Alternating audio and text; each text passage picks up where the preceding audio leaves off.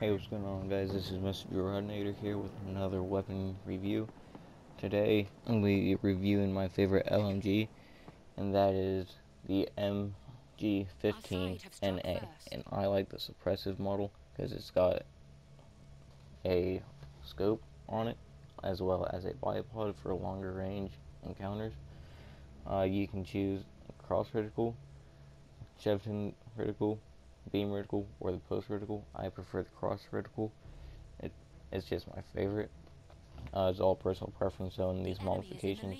Like the zoom, I prefer two and a half, but you can also have two times zoom, three times zoom, or three and a half. Is all what you prefer. Though when it comes to magnification, I like 2.5 because I can still take on my targets at longer range and still kind of use it in closer ranges. Uh, you can also change your recoil direction, left, right, or centered. I prefer using centered, but again, that's all up to you. Damage on this gun is pretty good. Um, it does have a low rate of fire though. It's not really that accurate unless you have your bipod down. Hip fire is garbage in my opinion. I can't seem to do very well with the hip fire with this gun at all. Like I can with any other gun, basically. Any other gun, hip fire is better in this. It seems like, besides sniper rifles.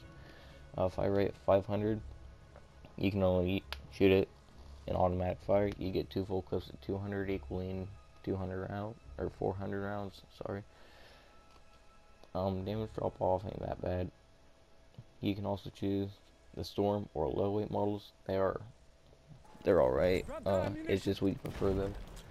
Uh, reload on this gun is considerably slower than some of the other guns you might use, but that's alright considering how slow it shoots and how hard it hits.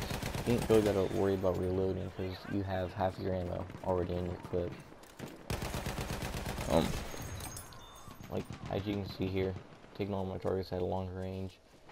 A lot better than I was at a closer range. It's just not made for close range. It's a medium to long range gun, guys. Like right here, you can see just how bad the hip fire really is. I had aim to get the kill. And even then, I had a hard time hitting him because he was so close. Uh, putting the bipod down, though, your gun does not move, and you can just sit there and peg dudes halfway across the map, no problem.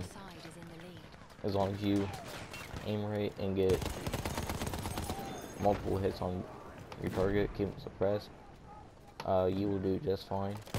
Um, however, you cannot let this gun overheat, otherwise you'll have to take a second to cock it, and a lot of times, if you're in a stressful situation, that will get you killed.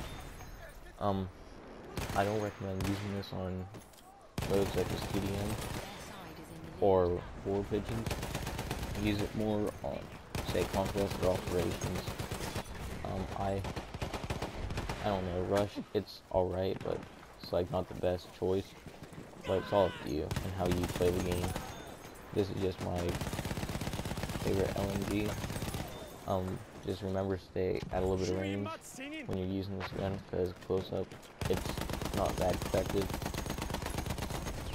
Um, other than that, there's not really much to say. Uh, it's a pretty good gun. I recommend you try it. If you do, however, use it for I am right here. It'd be a good idea to kind of take the longer routes around and not just rushing straight up with your team, kind of stray off. You'll do a lot better that way. Um, close quarters though, you will not, I cannot guarantee you will not be good at all you will die repetitively and get like no kills. unless you get very very lucky. well that about wraps it up for this uh, weapons review? Um don't forget to like and or subscribe if you haven't already. It'll really help me out. Mr. Running out